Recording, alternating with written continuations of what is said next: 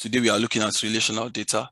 And um, the learning objectives are number one, to recognize the families of verbs for working with relational data.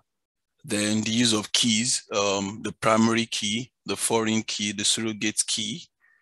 The use of these keys to identify relations between tables or in um, tidyverse balance um, data frames. Then three, uh, using um, or the use of mutating joins to combine related you know, tables, and then the use of filters to join or to join uh, use filtering joins rather, using filtering joins to remove observations from a table. The fifth one is to recognize common problems with joins. And then the sixth is um, to use set of operations to combine or filter tables. So at the end of um, this chapter, we'll come back to these objectives and we'll um, try to appraise you know, ourselves and see um, what and what have we learned and then what and what can we do you know, as regards you know, the objective and um, what we've learned you know, going through this um, chapter, relational data. Okay, so um, I'll go straight ahead into the introduction. It's rare that um, a data analysis involves only a single data frame. And um, yes, the usual thing is that we have um, different, you know, we have many data frames to deal with. And then we find a way to combine this, you know, or find a way to extract what we need from one data frame into another data frame for you know, several analyses now. Collectively, multiple data frames are referred to as um, relational data because um, there's a relationship between them. Yeah not just individual data sets you know, that are important. Now, relations are always defined between a pair of data frames. All other relations are built up from this simple idea. The relations of three or more data frames are always a property of relations between you know, each pair. That's there's a connecting, um, there's an aligning connector between these data frames, and that's why you know they are relational. That means you can relate one to another, and then because they are relatable, then we can do some other um yeah we can perform some other operations you know by merging or joining filtering and then that could give us um yeah that could give us bring that could make us to bring in observations not present in one into one based on underlining um based on the common uh, denominator yes based on the common denominator. So sometimes both elements of a pair can be the same data frame yes it's possible. And um, to work with relational data we need to understand the verbs as that um, the action words that work with pairs of data frames. So um, here we need to know the the families of the verbs, you know, that we have to be dealing with here, and then we have um, major. We have three major families: the mutate, the filter, and the set. So these three are you know, the verbs we're working with here, and um, from the objectives, um, especially from objective three, we see mutating joins, we see filtering joins, and then six, you see um, use set operations. So those are the three you know, keywords, the three action words that we need to really you know, understand how they are constructed, how they are being used, and then how, yeah, how they are being used. And then I think one other thing I would like to add is um, to remember how to use them when the need arises because um, it's a lot to take in.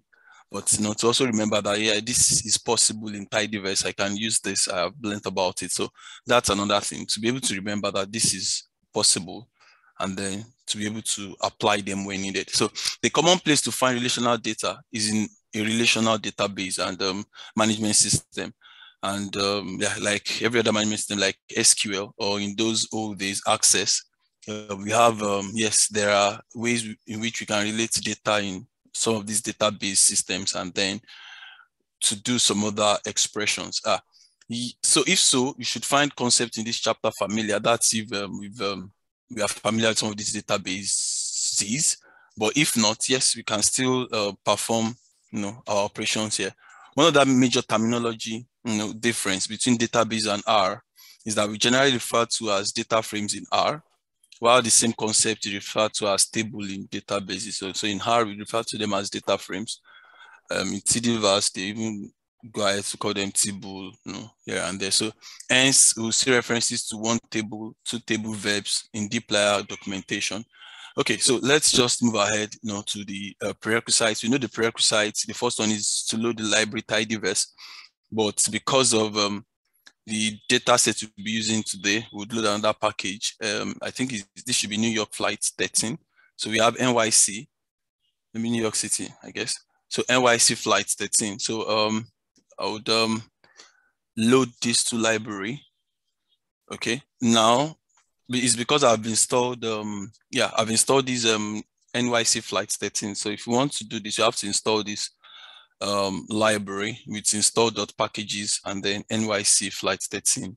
Then we can call in the library when needed. Okay, so we will use the NYC flight package to learn about relational data. NYC flight 13 contains you know, five tables, airplanes, airports, weather, and planes. All these are you know, related to the flight data frame and um, yeah, to the data frame that we used them in um, in the chapter on data transformation. I can't remember who took us that. Um, I think is um, I can't remember the name now. Who us that um, that chapter? So we've um, yeah, we've used part of this before, but here we are really delving into into the um yeah into this database. So um we have airplanes, we have airports, we have weather, we have planes. All these are related. So let's look at them one after the other. The airplanes, let's look up the full carrier name from its abbreviated code. Okay. So airlines rather. So here we have airlines. So we have the carrier 9E. We have the name. Is a table, is a six by two table. So we have um yeah 16 rows, two columns. So that's for the um, airlines. And then for the airports, for the airports, airports gives information about each airport identified by the FAA airport code. So we have the FAA code, then we have the name of the airport. It's um it's a 1458 by 8 table. So um we have FAA, we have the name, we have the latitude and longitude, we have the altitude, we have the Z, then we have um, um DST, maybe destination or distance, I don't know. Then we have the T zone. So um yeah, so those are the columns. And then for the planes, the planes give information about each plane defined by its tail number, you know, abbreviated as tail num. So this is um tail num, the year, the year of manufacture, I guess, or I want to believe, the type, the manufacturer, the model, then the engines, the seats, the speed, um, yeah. Then the uh, we have engines, then we have engine, we have model, you know, etc., etc. So yeah, another um, component another table here is um, weather. Weather gives the weather at each NYC airport for each hour. And then we have origin. Yeah, where I think origin where the plane is coming from. Year, the month, the day, the hour, the temperature, the dew point, the humidity, then the wind direction, wind speed. We have 15 columns here. We have wind gusts, we have precipitation, pressure, visibility, then we have time hour, etc., etc. Okay, so one way to show the relationship between the different data frames is with a diagram because um, we've gone through it one after the other now. Might not be able to see the connections between you know, these tables, but here now, this shows us um, like a diagrammatic, um, yeah, visualization to see um, where the connectors are. So for the airports, for the FAA, for the airports, you have FAA. And then for the planes, we have tail number. Now, for the flights, we have year, month, day, hour, flight, origin, destination, tail number, carrier. The weather, we have the year, month, day, hour, origin. The airlines, we have carrier names. Now, way I've said it now, it looks like it's standing alone. But if you look at the connectors, we see that um, they have um, relations, what you could um, relate each one with. So airports, we can relate you know, origin and destination. That means um, FAA, the um, yeah, the columns within FAA can relate with origin and destination inside flight, while the tail number in planes can relate with the tail number in flight. So there is that connection. Then the airlines, we have carriers, we have names. And then we also have carriers and flights. So we can relate flights and airlines, you know, using the common denominator, which is the carrier. And then when we come to weather, we have um, year, month, day, hour, origin as the common denominator between weather and them um, and flights. Okay, so um, this gives us an impression of um, how we can relate, you know, these tables together, and then how we can do some further, you know, analysis. Now, this diagram is a little bit overwhelming, but it's simple compared to, you know, some of those things we'll see, you know, in our raw data sets. Now, the key to understanding diagrams like this, remember each relations, each each relation always concerns a pair of data frames. Now, we don't need to understand the whole thing. All we need to understand is the chain of relationship between these data frames and that which we are interested in. Now, for this um, New York flight 13, flight, like I, you know, like I was trying to um, talk about initially, flights connect to planes no, via a single variable. This is flight. It's connecting to planes via a single variable called tail number. Then flights connect you know, to airlines through carrier variable. Then flights connect to airports through origin and destination variables. Then flights connect to weather via origin, year, Monday, hour. You know, like that, like that. Okay, so um, yeah, in this first exercise, um, am I still audible enough? Yes, yeah, I can All hear right. you and see everything. So yeah, so in this first exercise, um, it says, imagine you wanted to draw approximately the route each plane flies from its origin to its destination. Okay, what variables would you need? And then what data frames would you combine? So um, I'll just read this. I've already extracted the answer. Okay, so um, drawing the routes requires latitude and longitude, yes, of the origin and destination of the airports of each flight. This requires the flight and airport tables. The flight tables has the origin and the destination airport of each flight. The airport table has the latitude and longitude of each airport. So to get the latitude and longitude of the origin and destination of each flight, requires two joins for flights to airport. Now, once for the latitude and longitude of the origin airport, and once for the latitude and origin of the destination airport. Now, here inner join was used to drop any flights with missing airport since they would not have, now we'll learn about inner join, but um, here um, the operation has been performed. We'll learn about joins when we get to joins, but um, this just to show um, relations between um, FAA, and then um, flights. Okay, so this is just to show relations between FAA and then and then flight. So um, the plots approximate flight paths for the first um, 100 um, flights in the flights dataset. So this, you know, now after doing the join, then we do flights lat long, we do a time slice of the first 100, then we do the normal ggplots, aesthetics, it carries x and y. So the x is the origin latitude. The end is the destination latitude. The y is the origin latitude. The end is the destination latitude. And then um, we had some other constraints, border states, geom segments, you know, then coordinate quick map labs, you know, these are standard um, ggplots um, add-ons. So, um, so, but this is what um, that looks like, um, airports and flights and then you can see their destinations of the first 100, first 100 um, flights. Okay, so um, the next one says, um, I forgot to draw the relationship between weather and airports. What relationship and how should it appear? Um, yeah, so there's a relationship between weather and airports. Uh, it's just um, us linking, um, just us linking airports to weather, and then um, yeah, and then we can look at um, the um, the relations within weather and airport. Okay, so um, yeah, weather only contains information for the origin airports. If it contained weather records for all airports in the USA, what additional relation would it define with flights? Now, the answer is that if the weather was included for all airports in the US, then it would provide the weather for the destination of each flight the weather data frame contains, or whether data frame columns contains year, month, day, hour, origin, and a foreign key. We'll learn about keys you know, subsequently for the flight data from the columns. And this will provide information about the weather at the destination airport at the time of flight takeoff, unless the arrival date time was you know, was calculated. Now, all these are um, available in our um, solutions. There's um, R for data science solutions. So we can um, just go through some of this while um, I go on to the next um, to the next section. The next section talks about keys. And then here we want to know about primary key. What's a primary key?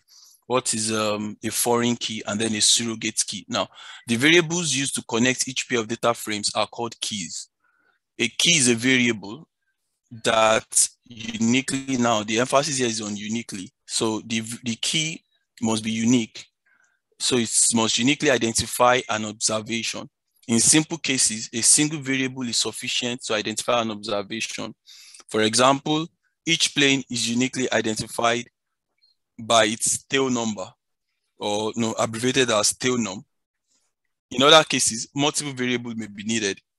For example, to identify an observation in weather, we needed five variables, year, month, day, hour, and origin. So these are you know, keys you know, in um, weather. Now there are two types of keys, primary key, which uniquely identifies an observation in its own data frame. Then foreign key, which uniquely identifies an observation in another data frame.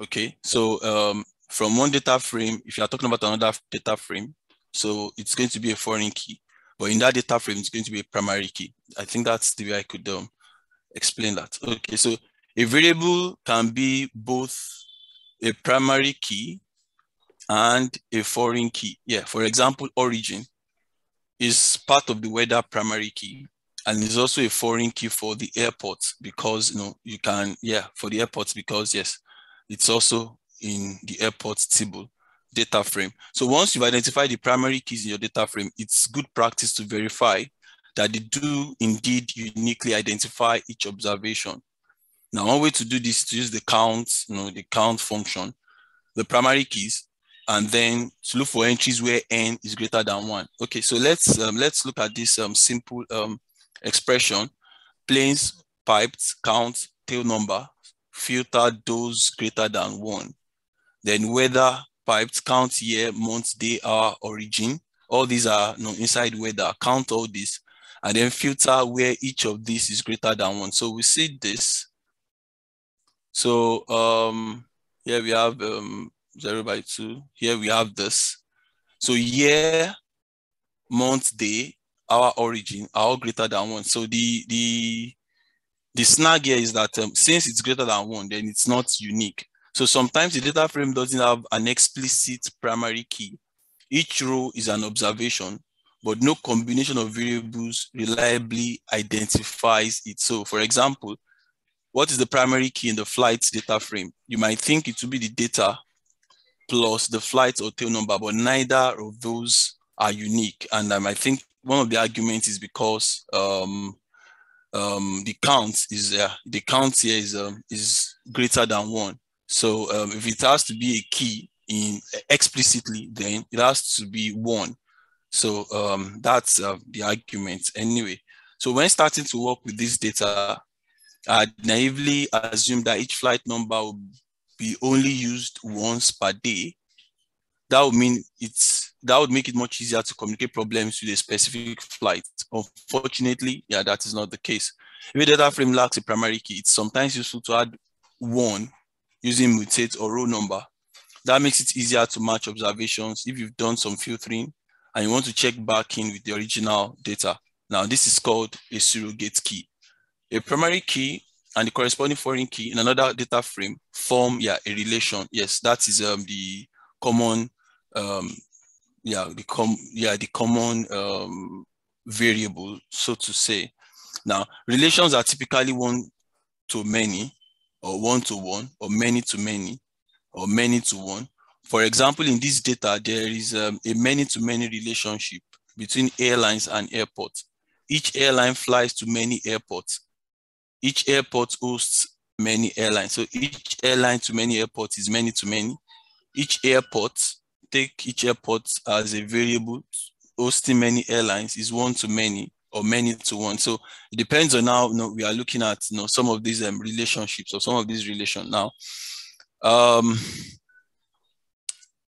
yes, this is um, another exercise. It says add a surrogate key to flights. Um, Okay, so we have to look at flights and then we have to um, check um, what is in flight and then we should add a surrogate key. And from, let's just see what is in flight.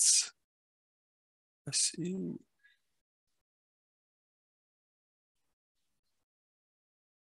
Okay, so this flight. Flight is um yeah year, month, day, departure time, schedule time, departure delay, arrival time, scheduled arrival time, arrival delay, distance, hour, minutes, blah. Yeah. So we should add a, a, surrogate key. Now, a surrogate key is a is a key that is exclusive, that is unique. You know, so if a data frame lacks a primary key, it is sometimes useful to add one with mutate or row number that makes it easier to match observations. If you've done some filtering and you want to check back in with the original data, this is called a surrogate. So that's um, a surrogate key, a key that is um, exclusively unique to um, to the data. So here we have flights, and then we want to add them a surrogate key. So what was done here is um, to mutate flight uh, flight ID. You know, that's just like a serial number. There's nothing here showing a serial number, and a serial number is exclusively unique to that row. So um, flights arrange year, month, day, scheduled time, scheduled departure time, carrier flights, piped it with mutate. Mutate is going to add, you know, it's going to perform the operation and then add it to to um to the data frame. So mutate flight ID is equals to row number, or we can say, okay, if you have yeah, we can say count is equals to row number. So, or uh, yes, but I think row number is going to make it serial. So then glimpse to look at, um, you know, how it looks like. So here we have um, year, month, we have everything. Then we have our flight ID here as a serial number, one, two, three. So that is exclusive. It's a primary key, but here now it's um, it's surrogate because it didn't come with um, data frame, we had to create it because um, there is no primary key within data frame. Okay, so um, okay, any question so far? That sounds good, but that's all making sense. That's kind of um, what I was expecting it to see. So this, it's good. It's ma making sense so far. Okay, okay, thank you. Okay, so um, we know that some days of the year are special and fewer people than usual fly on them. How might you represent the, that data as a data frame? What would be the primary key of that data frame? And then how would it connect to existing data frame? So, so from here, I'll take us to the, um, the solutions. I think we just check this one alone, and then we'll go to the next section. Then we can always um, check up um, the solutions for other exercises. Okay. So um, let me stop sharing and then share the screen for that. Um, the solutions. Okay, I'm coming. Solutions. Okay. Just a minute. Okay. Um, Okay.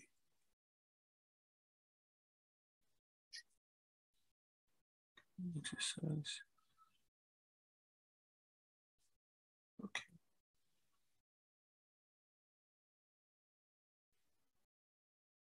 Okay. So, um, oh, yes, okay, I can remember now. Unfortunately, um, this exercise, I think it's not in there. But um, yes, we can we can discuss it and see um, yes what we can do. So um, we know some of the days of the year are special, and then fewer people would um, fly on them. So how might we represent the data as a data frame? What would be the primary keys of that data frame? And how, how would it connect to the existing data frame? Any suggestion before I see what comes to my mind. Um, can I call in? Maria Elena, can you make suggestion? Hi, uh, suggestion like for solving the exercise, you mean? Because yes, I, I'm not sure. Um, I, I don't uh, sorry, like today I'm a bit um okay. not very concentrated and I I don't really have any ideas for this. Sorry. All right. All right. No, no problem. Um, Shannon, do you have any suggestion? Um, so is there a, if there's a, um, is this is some of the days of year are special, special and few, fewer people fly.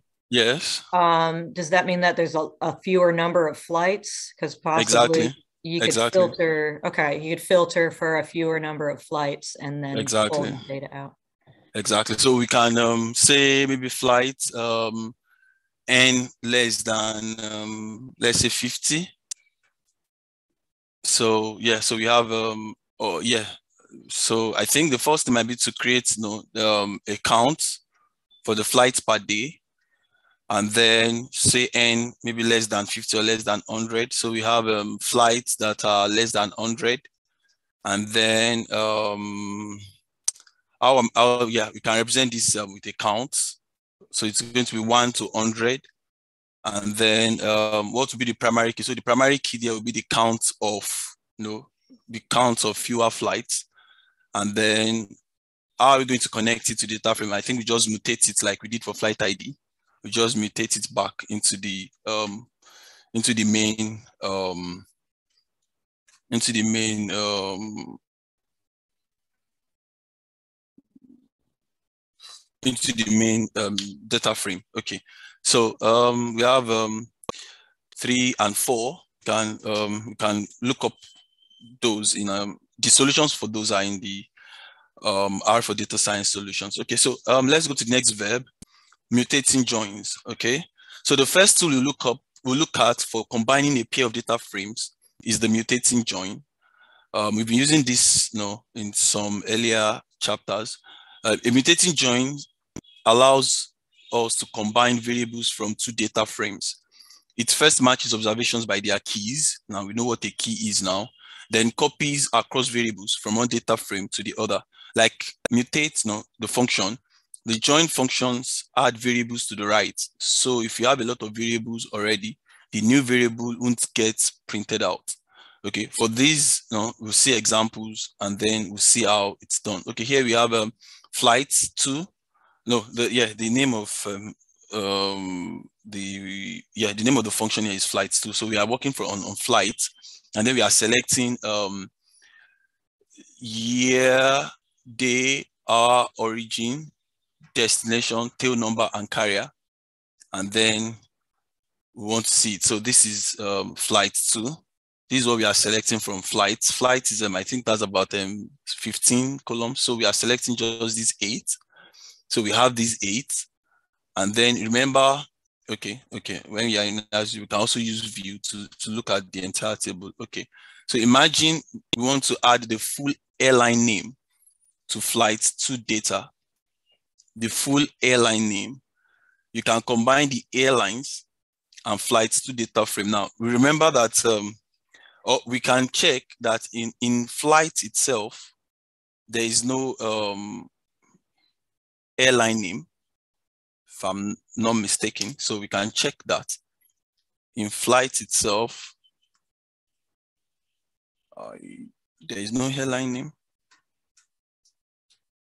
Yeah, so this flight, 19 columns, but there is doesn't have airline name. It doesn't. It has carrier, but it doesn't have airline name.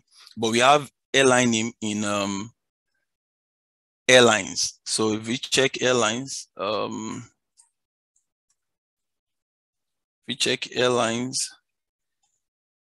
So we have airline name and we have carrier. Now, it's not now the um, the relation is based on carrier because there is carrier in airlines and then there is carrier in um, in flight. So if we join um, these airlines to this, then it, it brings it to the left hand side, and then we have the you know the airline names you know alongside the carrier. So what is being done here? So imagine you want to add the full airline name to the flight two data. Okay, so you can combine airlines and flight two data frames with a left join. Okay, so how is that done? So we have flights two select origin destination, then left join airlines by carrier. So, um, so from flight two, we are selecting origin destination, and then we are joining, you know, left join, left joining um, airlines by carrier. So here now we have um, carrier, and then we have the names. And then, yeah, we have tail numbers and this and this, okay. Um, something is, okay. Sorry, excuse me, out confirm origin destination. Okay. I think, Ademi, I think what it's, I, I would just realize that there's a little minus sign from the origin Yeah. and destination. So it Oh, looks like okay. it's selecting everything That- except for those columns. Okay, except yeah, okay, okay, okay, yeah. Thank you very much. Okay, so um, yeah, so it's saying select um every other thing apart from origin and destination, and then left join airlines by carrier. So we have um year, month, day, hour, tail number. We have the carrier, and then we have you know the name. Okay, so the result of the joining airlines to the flights is an additional variable name, which we don't have before. This is why I call this type of joining a mutating join. In this case, you could have you could have got to the same place using mutate, you know, an R's uh, based subsetting. I think we've been doing that, you know, in some previous um, classes. So, okay. Um, and that's what was done here. The same um, expression, flight select everything apart from origin and destination. And then um, na- mutate name is equals to airline. But here you have to use the dollar sign to pick the name. And then you have to you know then now you have extra expressions match carrier with airlines and carrier. So um, you have um, a longer expression here but it's going to do basically the same thing but it's longer. So um whereas um i think for parsimony the first the former one might be better okay but these are to generalize when you need to match multiple variables and um, takes close re- reading to figure out the overall effect exactly so the following sections explain in detail how mutating join, you know, how, how it works. Um, we'll start by learning a useful visual representation of joins, and then work with, uh, then we use that to explain four mutating joins function, inner join, and um, the other three outer joins. Now, when working with real data, keys don't always uniquely identify observations. So um, we would understand what we can do when we don't have um, unique keys. Now, understanding joins. Um, to help us learn how join works, we are going to use a visual representation. So here we have um, a table, we have key, we have value called X. Another table, we have key, one, two, four. We have value Y1, Y2, Y3. Here we have one, two, three. Okay, so um, so this is what we have here. So we have um, the two table X and Y. Now, the colored column. All right. Okay. All right. Let's do this. Okay. X. Think dash two Y. Okay. So, so this X, we have the key, we have the values. This is Y, we have the keys, we have uh, the values. Okay. So, um, the colored columns represent, okay, so in the expression, the colored columns represent, sorry. Yeah, this is it, yeah. So um, X, one, two, three, Y. So the colored columns represent the key variable that are used to match the rows between the data frames. The gray column represents the value column that is carried along for the ride, okay? So in these examples, um, will be shown how a single variable um, will be shown how a single variable you know, can be used to um, for joining and then um, for multiple keys and multiple values. So a join is a way of connecting each row in X to zero, one or more rows in Y, provided you know, there are um, commonalities. In cases where there are no commonalities, there are some other join operations that we can still perform. The following diagram shows each potential match as an intersection of a pair of lines. Okay, so um, in the first one, we have um, one, two, three as the key. So it's the key we're actually looking at. And then we have one, two, four as um, the other key. So um, yeah, um, in this, in some joins, you can only do um, one and two. In some, you can do one, two, three, four. Know, so it depends on um, the type of join and the uh, and what um, you want to what you want to do. So if you look closely, you might notice that you switch the order of the key and the columns in X. This is to emphasize that joins match based on the key. The value know, is just there know, for the right. Now, an actual join matches will be indicated with dots. Okay. The number of dots is equal to the number of matches, and that's equal to the number of rows know, in the in the output. Okay. So um yeah, so we see this now. So here x1, um, sorry, not x1, the one matches, uh, key one matches key one, um, key one in x matches key one in y. So we have, um, yeah, we have x1 for value x, y1 for value one. So key two matches um, key two in y. So for key we have two, then it's it drags along the values for for that for those keys. Yeah, from the two um, data frame. So it neglects um, three and four. Yeah, for this for this kind of join. Now we come to inner join. Now the simplest type of join is the inner join. You've seen an expression where inner join was performed. And then an inner join matches pairs of observations whenever their keys are equal. So um, the catch here is um, the keys should be equal. So um, yeah, it's um, kind of similar to um, what you know, we were doing, you know, or what was performed earlier on. But the keys are equal, so you have um, the you have the join. Now, to be precise, this is an inner join or equi-join because the keys are matched using the equality operator. Now, since most joins are equi-joins, we usually drop that specification. Okay, so um, using a normal join function and an inner join function, as we've seen in these um, expressions, gives you know, the, the underlying idea is the same thing. So um, yeah, so we can easily use either inner join or join. Okay, so however, the okay, the output of an inner join is a new data frame that contains the key, the x values and the y values. We shall we use by to tell the dplyr which variable is the key. Okay, so X, no, inner join with Y by the key. Okay, so um, perform that and then we have um, one to x1, y1, x2, y2. The most important property of an inner join is that unmatched rows are not included in the result. This means that generally inner joins are usually not appropriate for using analysis because it's too easy to lose observations. Now, what does an outer join um, do, and how is it um, totally different from inner join? An inner join keeps observations that appear in both data frames, so um, it keeps only the intersections.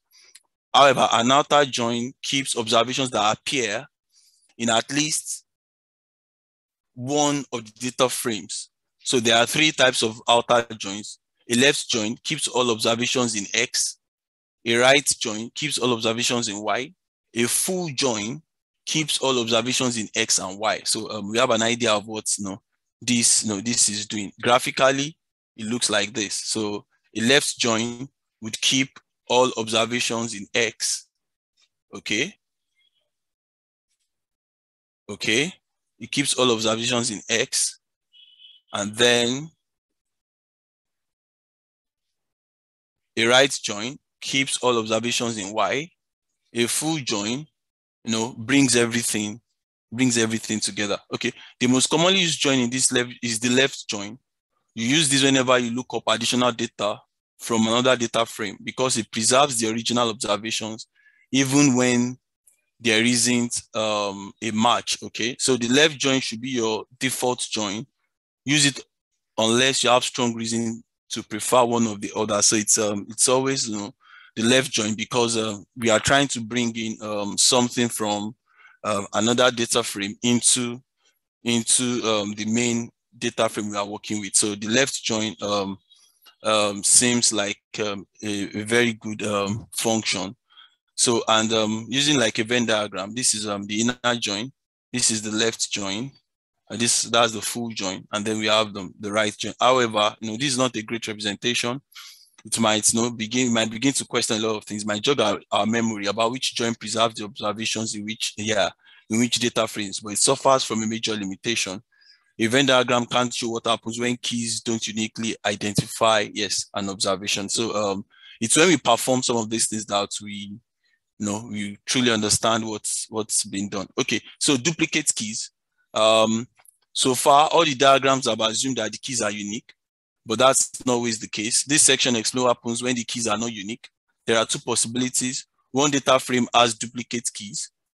This is useful when you want to add when you want to add in additional information and there is typically one to many relationship and there is a typical this is always typically one to many relationship okay so this is um duplicate keys yeah from the um, from the name we know we are going to duplicate you know, whatever it is we have so for the um x we have one two two one for the y we have one two okay so um yeah two is occurring twice in X, while it's just occurring once in Y. So for the final output, we are having one, two, two, one. Yeah, so um, it's like um, we are duplicating everything, you know, that we have, and then you know we are making it. Um, um, yeah, we are combining everything together. Um, however, there's still um, yeah, yeah. So um, it's only it's only one that is unique because here we don't even know whether it is um, x2 that is the that is unique to the y2 or although it's likely to be the x that is unique to y2 but it's preserving um, x2 x3 and then it's now duplicating it as a y2 y2 um, for the y value so it's um it's sort of um, in, increasing the values of y uh, uh, and um, yeah this might be um, okay if uh, unless um, this might actually you know be problematic in some cases. Note that I've um, I've put the key column in a slightly different position in the output. This reflects that the key is a primary key in Y, yes, and a foreign key in X. Oh, okay, yes, exactly. Okay, definitely. Okay, going by the definition of um, keys. Okay, so this is um left join, what was performed. This is the table, and this is another table. Then left join xy by key, and then we have um, one, two, two, one, and then we have a duplicate in y. Now, both both data frames have duplicate keys. This is usually an error, yes, because in neither data frame do the keys uniquely identify an observation exactly. So when you join duplicate keys, you get all possible com combinations and um, the Cartesian product. So um, uh, yeah, so this is um, another another one. We have one, two, two, three, and here we have one, two, two, three. Okay, so here we have one. So it's it's uh, it's becoming very messy, and um, uh, it's um, it's going to create you know much problem. So this is um, the expression. Okay, so um, defining the key, but I wouldn't know when one might need to use this. I, I, I don't know if there's any suggestion. I wouldn't know because while I was reading, I was like, I, I wouldn't know when one might um, need to use this. Yeah, there might be some instances. I don't know if anybody can give um, any um, maybe example that can, that comes to mind in real not, in real life. I'm not sure. I kind of agree with you. That seems like it's a really messy a messy kind of table and it, it, it, i don't know if i'd want to rely on that because it's creating it seems like it's creating a lot of uh, yeah. Uh, kind of messy data may, that may be unreliable. So i'm not sure. Yeah i i'm i'm agree with you. I don't really know um, i don't know of any examples of that. Okay. Okay. Okay. So um well with um yeah who knows? We'll later on when we have some real data. Okay, so defining the key columns. So far, the pairs of data frames I've always been joined. Okay, perfect. I've always been joined by a single variable, and that data frame has the same um, name in both data frames. Yes, that constraint was encoded by, by key yes. So you can use the values for byte to connect to. There's always a connector. So the default by is equals to null. Use all the variables that appear in both data frames, the so-called natural join. So for example, the flight and the weather data frames match on their common variables, year, month, day, hour, and origin. So flight two, left join, weather should um, give us um, this by 18. And I think it brings in everything because, um, yeah, it brings in everything because nothing was um, specified what it should join by. So it brings in all the variables in both data frame. Okay, so um, a character vector by is equals to x. So this is like a natural join, but uses only some of the common variables. For example, flights and planes have year variables, but they mean different things, okay? So we only want to join by tail number, exactly. So, um, so when we do such, then the two, um, the two key, no, that's not the two keys now. The two um, columns with the same name would um, have an appendage. So this is having year.x, meaning it's from a separate table. So this is having year.y, meaning it's from another another table. So um, they, they couldn't join, they couldn't left join by year because the year in one means you know is representing another thing. And then the year in the in the other table is representing another thing, but the tail number it's um is the commonality. So that's why you know the, that is um, being used in that expression. Note that the year variables which appear in both are not constrained to be equal. Yes. Okay. So they are disambiguated in the output to the suffix, which I've just said now. A new character by vector A is equals to B will carry a dot, you know, in the output. So if, for example, if you want to draw a map, and we need to combine the flight data with the airport data, which contains lat and lon of each airport. Each flight has an origin and destination. So we need to specify which one you want to join to. Okay, so flights, left join airport, see destination FAA. Flights to left join airport, concatenate origin, and then origin is equals to FAA. So um, if we run this, we have you know these two, and then yeah, Okay, so uh, each flight has an origin. So we need to, yes, so uh, yes, so if we want to plot, we need to specify, yeah. So each flight has an origin and destination airport. So we need to specify which one we want to join to. So, okay, so um, um, yeah, left join airports, destination is equals to FAA. Then flights to left join airports, origin uh, is equals to FAA because no, we have um, um, I think we have, um, uh, why are they doing this? Okay, sync, come. Variable character by vector. This will match variable A in the X by variable For example, to join map on common flights data with airports data. Okay, which contains location of that and of each airport.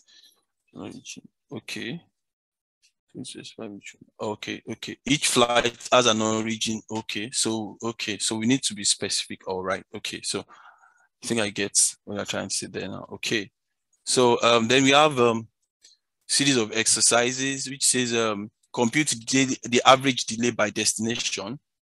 Then um, join the airport data frame so you can show the spatial distribution. This is um this. Then to compute the average delay, I think I have it here. Okay. So um, average delays, we have flights, group by destination. Then we want to summarize delay is equal to um, array um, underscore delay. That's um, the mean, sorry, the mean of the um, ARR underscore delay. I've forgotten what this is now. Underscore delay. Then um, treat, uh, remove um, not applicable then inner join airports by um, destination is equals to FAA. So um, yeah, so we can plot it with what uh, was done earlier on. All these were just um, cloned from um, the solutions, um, data science solutions book. Okay, so add the add the location of the origin and destination to flights. Okay, I think we've done um, um, we've said some of these things. Um, we want to add the location of the origin and destination to flights. Okay, so um, airports locations, airports select FAA, lat long, flight select year, day, month, origin, left join airports by you know origin is equal to FAA, left join airports underscore locations by you know C destination is equal to FAA. So um, because you have lat long in the two um, data frames, then it's going to be lat.x, long.x, lat.y, long.y. So some of these solutions, all these solutions are actually in the, the solutions to the exercise rather are in the um, R for data science solution. And then here, um, other implementations uh, where they talked about um, uh, the base merge and what it does, and then how it's different from um, SQL and um, some terminologies. Then we talked about, yeah, so here now they talked about filtering joins. Um, filtering joins match observations the same way as mutating joins, but affect the observations, not the variables. So we have um, semi-join, which keeps all observations in X that have a match in Y, or anti-joins, which drops all observations in X and have a match in Y. So um, yeah, so that's what was explained here, semi-join and um, anti-join. So graphically, a semi-join looks like this okay? There is no observation in Y. It picks only observation in Y that matches X. And then an anti-join, uh, uh, an anti-join does like, um, I think the reverse. An anti-join does the reverse. Okay, so um, the, yeah, the inverse of uh, a semi-join is the anti-join. An anti-join keeps the rows. Okay, sorry, it's um, the inverse. So yeah, not the uh, not the reverse. Yes, so an anti-join keeps the rows that doesn't match, that doesn't have a match. So it picks the unique um, rows in the two uh, in the two data frames. Okay, so uh, yeah, so that's um, that's what um, uh, that's the difference between an anti-join and um, a semi-join. And I think yeah, we have exercises, and then we have um, problems. So um, then we can, I think, yeah, sets of, operations. So we can actually um, just um, try and go through the remaining sections um, so that we can start a new chapter next week. However, before we um, call it a day, we just look at the learning objectives and we and we try to see if um, we've been able to learn one or two things. We have um, recognized the families of verbs for working with relational data. So we have some of these verbs now. Um, okay, because of time, I wouldn't want to call names. So, so who can tell us some of these verbs? Let's so that we know we've um, yeah, we've got one or two things. Verbs, relation data. Uh, we we learned uh, we did mutate, uh, select, yeah, mutate. Yeah, uh, left join. I think left was one join. of them. Just the different right. times and yeah, exactly. Yeah. All right, thank you. So we have um, primary keys to identify relation between tables. We have the primary key, we have the foreign key, we have the surrogate key. So the primary key, we know what the primary key is. It's um, that unique key in um, in a particular data frame. Then this foreign key is that um, key in another data frame. Yeah, that it's foreign to a particular uh, data frame. Then the surrogate is because most often than not, you don't have a unique key. So we create you know, a surrogate, which can just be something like a serial number, a row number that is strictly unique you know, to that data frame. Then using mutating joins to combine variables, we've learned how to use join, left join, um, right join, then um, filtering joins, how to filter, you know, to remove observations, yeah, um, select minus this, minus this, okay? So recognize common problems in joins and then set operations are some of the things we really didn't talk about. So can just read that up so that um, for next class, um, we can go to the, can go to chapter 13 and then um, making progress. So um, at this point, I would like to say a big thank you to everyone. And um, it's been a ride for about three classes now. And um, yeah, so next week, it's I'm handing over to Shannon, pardon me. And um, yeah, it's, I, I, believe it's going to be fantastic. So do um, have a lovely day and um, yeah, enjoy your weekend. Thank you, Damie. Thank you.